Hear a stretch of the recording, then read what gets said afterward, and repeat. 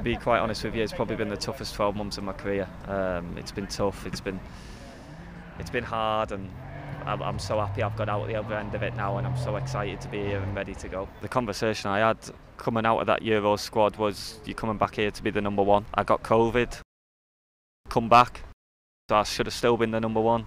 But then, unfortunately, no one followed through with anything they told me. It was frustrating as well because I turned so many good loans down last summer for that, for that reason, and they wouldn't let me go. So um, it was frustrating, and to sit there and waste 12 months is, is it's criminal, really. At my age, I was fuming, um, but I worked hard off the pitch and um, on the training pitch to keep keep improving day in day out. So I'm really excited to be back here um, and looking forward to the season with Forest. Oh no, I didn't want I didn't really want the manager to come in and be able to see me in training because uh, I knew that he'd probably want to keep me. So um, I sort of tried to do it all before I um, before I left for the season, I'd told all the hierarchy I need to go and play football. I don't want to be here uh, playing second fiddle.